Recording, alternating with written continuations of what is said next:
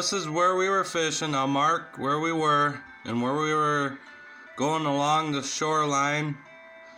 We were fishing big rocks and whatever kind of rocks because the largemouth and smallmouth were in there feeding a, feeding on crawfish.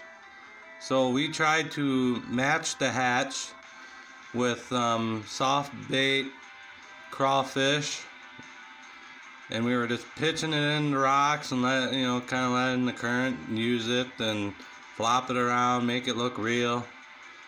And them smallmouth and largemouth were just in the rocks just feeding hard on crawfish. Um, it was a really fun afternoon. Really nice out. It was just great and one thing about fishing rocks is sometimes it can be kind of hard because you can get snagged up a lot. But we didn't really have that that that night, so it was a good night. One more thing. Uh, like I said, how we were using our bait, that crawfish bait, we would throw it in there and the current could uh, pound it around a little bit, make it look real and stuff all we would do is just kind of twitch it along the bottom. That's really about it. And then them largemouth and smallmouth would just hammer it because that's what they want. All right so we're out at the Mississippi going after largemouth bass and smallmouth with these crawfish baits. First one here and then our second one on the Mississippi. Uh, the crawfish are up in the rocks and all that and the fish are feeding. So that's why we're here trying to get it hooked up in one. So let's get to it and see what happens. Uh, 30 pound test line by the way too. First cast. I had something on there, messed it all up. So I'm gonna fix this and cast back out. That was pretty quick. Second freaking cast and I got something. It's a smallmouth. I'm gonna bring him up. Just like that. yes, baby. Smallmouth. That's what I'm talking about. It's just a small little guy, but dude, it's happening just like that. Every cast, I need to get another bait for this guy. I'm happy I bought a whole bag because it looks like I might need it today. Let's go! Yeah, Blue Shadow Outdoors. This is freaking insane. Here's another smallmouth.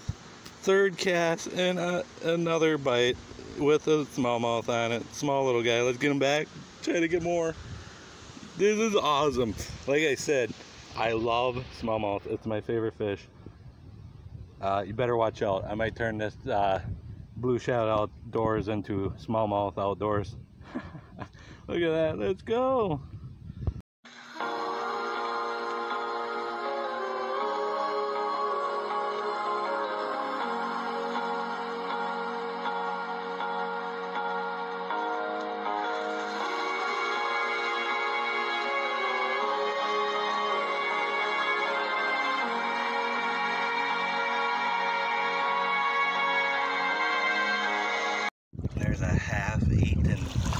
Crawfish or something. Some type of crawfish. Alright guys, I got a largemouth bass on the crawfish. Nice one too. Alright, there he is. I'm gonna get the net and net him up.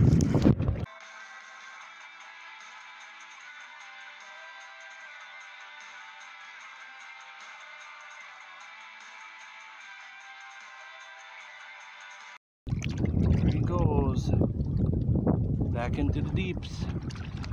Got a smallmouth. A freaking fighting one. Let's go, dude. Woo! This is awesome. I am having the day of my life, dude. These guys just fight like crazy.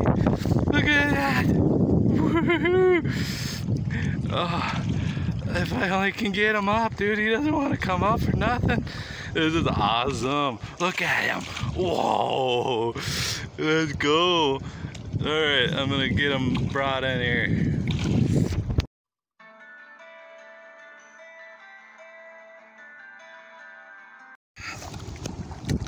All right, here he goes back. And gone. Uh, uh, all the action today happened on this crawfish here. The Ber Berkley power bait. Every fish caught in this video was caught on this guy. So, I'm gonna call it here. So, see y'all next time. It was a great afternoon catching smallmouth and largemouth. Let's go. See y'all later.